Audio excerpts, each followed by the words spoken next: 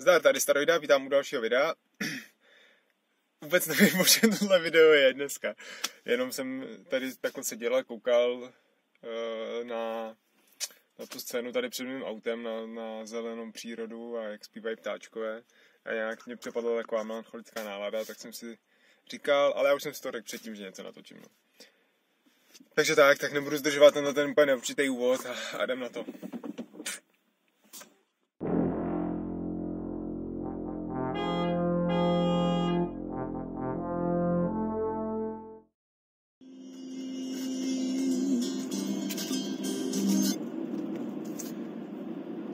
Tak to netrvalo moc dlouho, abych to téma asi vymyslel, ale já nevím, jak to dopadne. Uh, prostě mám chuť na takový pokec a udělám takový jako rezumé, co se týče té mé nové práce.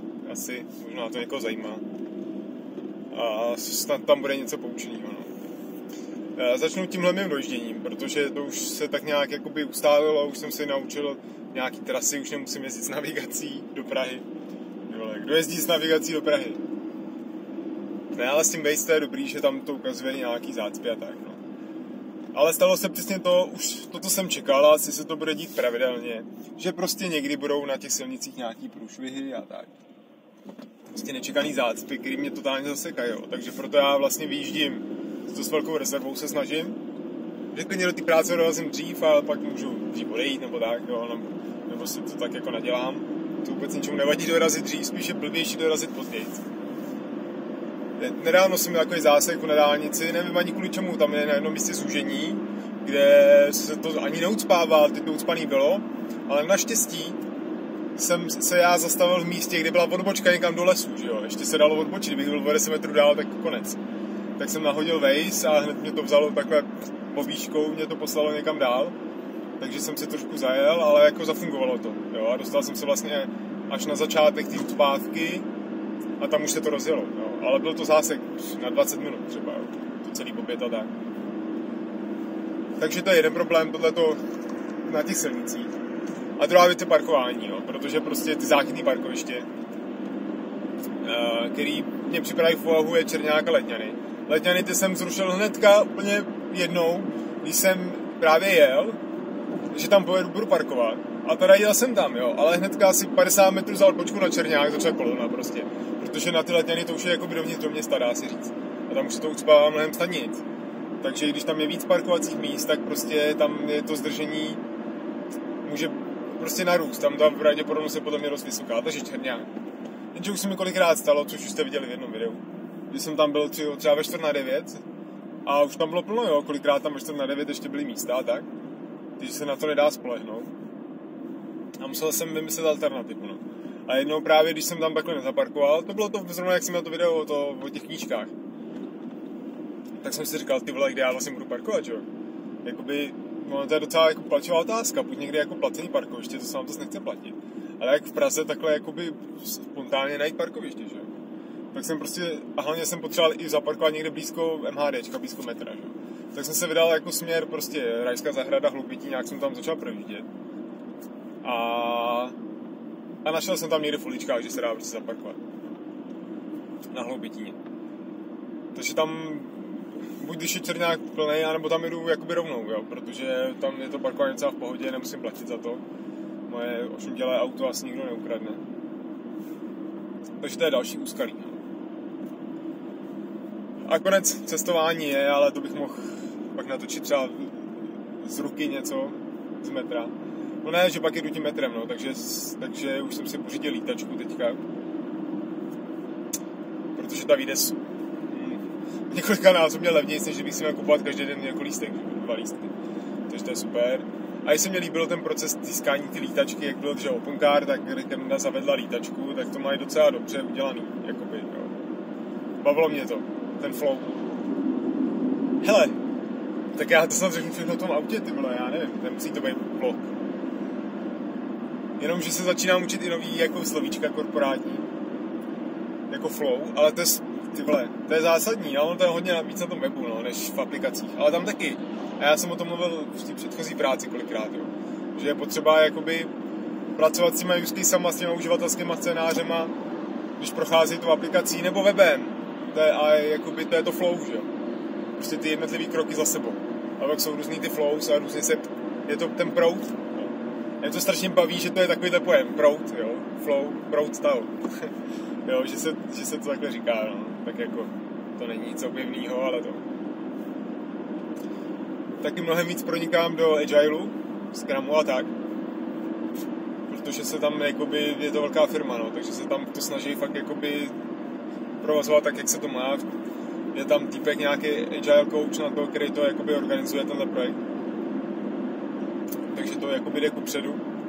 Zajímavý, jakoby, že ta firma se tím pře, pře, přerodí, přerozuje, jsem chtěl říct, ale to není, asi nemá takhle tenhle ten trpnej rod, no, přítomnej, nekonavej, nekonavej.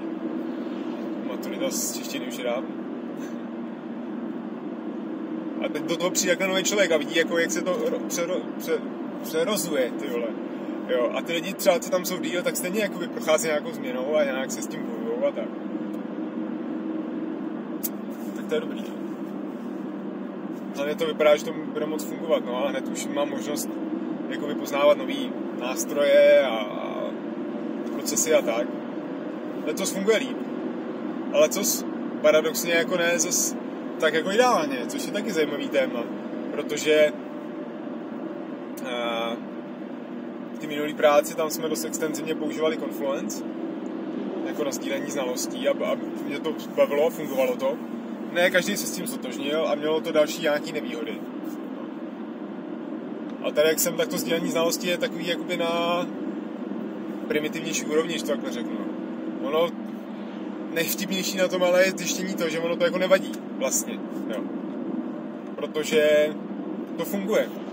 A ty lidi s tím pracují a je to přirozený, vede to víc ke komunikaci mezi lidma, což je možná v tom korporátu jako možná víc ještě potřeba, jo, víc ta mezilidská komunikace, víc se pak, možná se pak moc komunikuje a méně maká, no, ale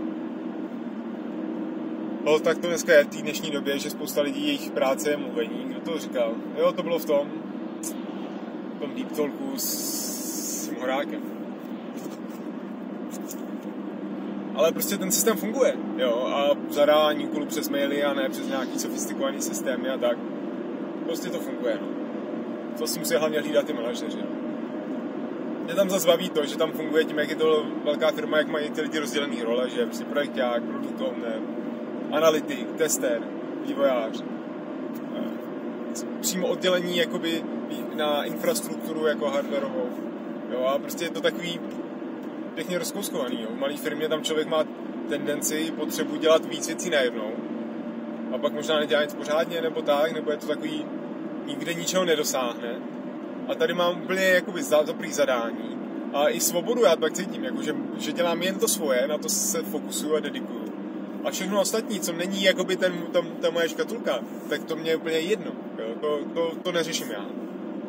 A to řeší někdo jiný, protože v těchto oblastech, kdybych chtěl něco zavíst, tak to vyžaduje takový osobní úsilí jo? a takový tlak, že jako zavádět nějaký změny, to můžou dělat jenom lidi, kteří jakoby tou změnou žijou a jsou, toho účastní a dotáhnou to do konce. Že? Jakmile byste to chtěli třeba na někoho přenést, jako řeknete si, tak chci, aby v této firmě se víc používala Confluence ale protože já za ní nejsem zodpovědný, tak bych to musel jakoby vtlačit tuhle myšlenku těm lidem, co jsou. A to se prostě nepovede. Jo? Nebo může se to povíst, ale to je takový úsilí. To nemá vůbec cenu jako začínat. To je další věc, co jsem chtěl říct, že je jedno, jestli to je malá firma začínající nebo už delší dobu, nebo nějaký korporát, velká firma, tak, tak tam to, všude to funguje tak nějak jako stejně. Jo? Ty ty, ten pattern, ten vzorec jo, toho, jak ta firma funguje, je prostě stejná. Jo. Jenom je ta škála větší a detaily jsou různý. Jo, ale neznamená to, že když jdete nějaký, jo, no, byl super firmy Google, že tam budou nějaký bohové, který prostě mají úplně zmáknutý ten organizaci práce a tak vůbec ne. Jo, to je prostě jenom v jiném stavu, jakoby ani ne v lepším, horším, ale prostě v jiném. Jo, a řeší tam úplně stejný problémy, jo, jak jak určovat termíny, kdy bude projekt hotový. Jo. To je prostě věčný téma, že? A snaží se to prostě nějak zpřesňovat nějakým nástrojem. Jo, jak řídit vydávání prostě verzí a tak. A taky se to dá jako řešit nějakým nástrojem, ale prostě pak to zase jako vytečí někde jinde ten problém. Jo, a mezilidský jakoby věci nějaký zase, komunikační. Prostě s ním vevnitř, jo. A hlavně ani ty lidi, jakoby, zase, to už jsem o tom mluvil dřív, někdy v nějakém videu. Jakoby, jak jsem třeba potkal týpka z Microsoftu, co byl taky nějaký jako Scrum coach. A prostě to byl 50 letý týpek a měl asi hodně zkušeností. Ale jako mě to vůbec jako nějak neosledňovalo, protože jsem chtěl počkat, co mi řekne a to mě zajímalo. Jo, ale můj kolega, co tam byl se mnou, tak ten z něj byl úplně, ten, on dělal v Microsoftu, ty vole. Jo, ten je, to je určitě velký zvíře a tak, a byl z něj, hned si z něj sednul na prdel, aniž by od něj něco slyšel, že jo. A to mě přijde hodně jako to divný. Krátkozraký a netaktický. A takhle to i v těch velkých jako, jo, firmách, tak tam jsou taky lidi, jsou to prostě obyčejní lidi. A mají jenom zase nějakou svoji sadu znalostí. A jinou, jo, a, a ne tak třeba hlubokou a tak. No, takže to je třeba rada pro všechny, který by jakoby chtěli třeba měnit práci, nebo si zajímali o práci a řekli si, ty vole, já jsem nímán, tak nemůžu jít do nějaký jako jo, super firmy. Naopak, můžete jít úplně kamkoliv, protože nikde to není nějak jako nad, nadprůměrný, jo, nebo něco takového. Vůbec ne. Jo. A i člověk, který je trošku šikovnější, hlavně pracovitý a svědomitý, jo. a takový jako lojální, tak to jsou taky hodnoty, které prostě se uplatní úplně v každé firmě od té úplně nejmenší rodiny až po ten Google nebo já nevím co, Amazon, no tak tam radši ne, SpaceX a Tesla a tak, jo. že prostě úplně v pohodě, valná většina podle mě lidí jakoby na pracovním trhu, tak se můžou být zaměstnaný prostě v jakýkoliv firmě, jo, protože jako jo, tak na nějaký pozice jsou požadavky typu vzdělání nebo nějaký zkušenosti, no tak to pak jo, tak dobře, tak jdeme tomu, že ty zkušenosti máte, ale já jsem si tohle přesně říkal. Já mám zkušenosti takový ty papírový, co oni po mně chtějí. Ale to jo, super firma v oblasti, kterou jako neznám, jo, tak jako, ču, můžu si tu vůbec na to troufnout si na to, mám jako dost sebevědomí na to. Tak já jsem ho měl, že jo, ale ono ani není potřeba tolik zase. Stačí to podle mě to vědomí, že nejsou nějaký prostě superstars, nikdo není vlastně a hlavně si adoptovat do hlavy jakoby ten přístup, uh, že jakoby ta, ta firma mě chce, jo, ta práce mě chce. Jo. Já jsem ten, uh, kdo, kdo si pro tu práci jde, jo, že jakoby já jsem ten středobod, nebo já jsem v tom světle těch reflektorů a ne jakoby oni. Proto mě taky naštvala jedna firma, kam jsem se jakoby, jsem taky psal a to byla právě taková jo firma, že jsem si říkal, ty vole, ale poslal jsem mu to tam. Dvakrát jsem jim psal, jednou to bylo takový, že jsem si říkal, no, jak jsem mě kašlal že to jsem si říkal, no to jsem mohl napsat líp. Ale pak jsem jim napsal oficiální, normálně životopis, pěkně průvodní dopis, všechno v angličtině a tak. Přišel mi automatický e-mail, že za do tří týdnů mě odpovědějí. A hovno, nic nepřišlo.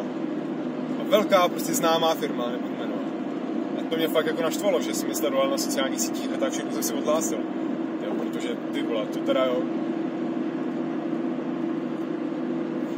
to prostě tam nefunguje. Já si, jo, chodím tam mrtě mrtě těch přihlášek, ale tak mají na to dedikovaní lidi a mají prostě na to odpovědět. Takhle jim mohl uniknout, já neříkám, že jsem nějaký mistr světa, jo. Ale mohl jim uniknout nějaký fakt jako kvalitní pracovník takhle, jo, který prostě papírově jim sedí na tu pozici. A ještě třeba napíše nějaký dobrý ten motivační dopis, nebo tak. Takový, který aspoň vede k tomu pozvání na pohovor. A mě to prostě úplně takhle zazdí. Jo, mohlo se to stát jakkoliv, jo, ale už to bylo dvakrát, se smrdí. Jo, takže, takže tak.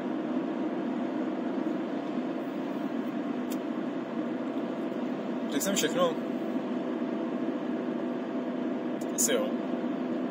Taková středka. Jo, ale jinak tak možná ještě, ono to bylo takový o, o všem a negativní možná trochu. Hlavní, co jsem chtěl říct, a to teď říkám všem, že jsem jakoby fakt spokojený s tou změnou. Já jsem si tam nastavil nějaký jako cíle, které chci dosáhnout v tu chvíli té změny jako do, jakou chci mít jako startovní pozici v té nové práci. Jo, co to by tam asi tak mělo být. A to tam přesně je. Jo. Je to super. A i jakoby cítím nějakou tu motivaci, jak jsem o tom mluvil, jo, že si nebudu vyhořelej nebo tak. To dobrý. A já zatím se ještě furt tak rozkoukávám. Ale je to super a baví mě to, jakoby i baví ve smyslu zábavy, jako že se i vnitřně směju kolikrát nějakým situacím a tak. že to je prostě takový, v tom duchu, jak jsem říkal, jo, že, že žádná firma není plná superstar, co ne. A právě ty kvalitní firmy, to je jako možná závěr. Ten úspěch té firmy, a to, že se rozroste do nějaký velký, tak to fakt stojí na nějakých klíčových lidech, ale hlavně na nějakým jakoby tom tahu na bránu a tomu zápalu a výkonu a tak, a té pracovitosti. Jo, nemusíte být nejchytřejší, nemusíte mít nejlepší nápady, nemusíte mít nejlepší prostě vývojáře nebo něco. Ale hlavní je podle mě jako ten drive nějaký. A dělat dobře ty důležité věci, ty základní kameny, jako to. Jo, aby ta firma dobře rostla. Jo, aby nikde nevznikaly nějaký problémy, prostě, aby se dokázala nyní a inovovat a tak. Jedno v jaký oblasti. Takže asi tak. Takže jo, to by bylo všechno. Ještě nemám ani outro, jo. Já jsem ani moc... Já mám na, na outro ty ptáčky zpívající, jak jsem o tom mluvil na začátku. Já jsem si říkal, a natočil jsem 20 vteřin toho, což je outro. Ale jo, tak pokud se vám pokud líbil, tak hoďte lajčík a napište mi komentář. Nevím, jestli jsem se dotkl něčeho, co vás zaujalo, nebo chcete k tomu něco dodat. Ještě tam je jeden Rista angličtina, no, ale já jsem teďka objevil nový kanál, díky Petru Ludvigovi, tak tam psal nějaký Krišpínu svět, co to jmenuje. A on má v avataru jakoby uh, kruh nakreslený jako Tao, jsem nakreslený. Jo, což jsem tenhle znak taky párkrát používal někde, tak mě to zaujalo. Tak tam má jedno video o té špatné angličtině v korporátech a tak, jak je to oficiální jazyk. Tak to jsem už neříkal, protože už to řekl on. Tak já má, vám dám odkaz do popisku, už tak mrkněte. A to je teda fakt vše. Takže si mějte a uvidíme se u dalšího videa. Ciao.